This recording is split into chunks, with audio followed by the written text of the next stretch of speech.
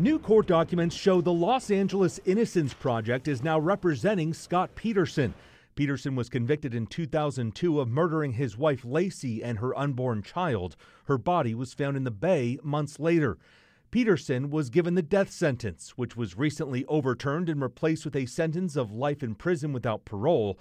This week, four motions were filed in San Mateo County Superior Court, including a motion for DNA testing, claiming new evidence now supports Mr. Peterson's long standing claim of innocence.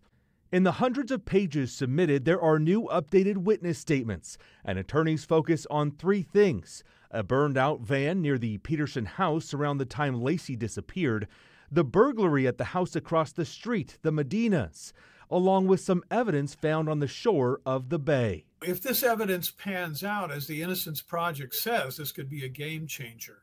Dean Johnson is a lawyer who has followed the trial since the beginning and says the heart of the new motion is a theory that Laci Peterson was killed by burglars. And if you find the same DNA on the items from the Medina burglary, from the van, and from the shore of San Francisco Bay, that's the storyline. The storyline is there was a burglary. Laci was kidnapped by the burglars, put into a van, later killed, and her body was later put, put at the shore of San Francisco Bay. Peterson's attorney, Pat Harris, wrote in a statement I will confirm that we are thrilled to have the incredibly skilled attorneys of the LA Innocence Project and their expertise becoming involved in the efforts to prove Scott's innocence. Dean Johnson says there are still major hurdles for this new legal action. This is only potential evidence. The defense doesn't even have the evidence yet. They're requesting it.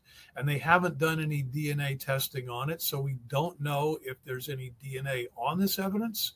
The LA Innocence Project declined our request for an interview, and we could not reach Laci Peterson's family for comment.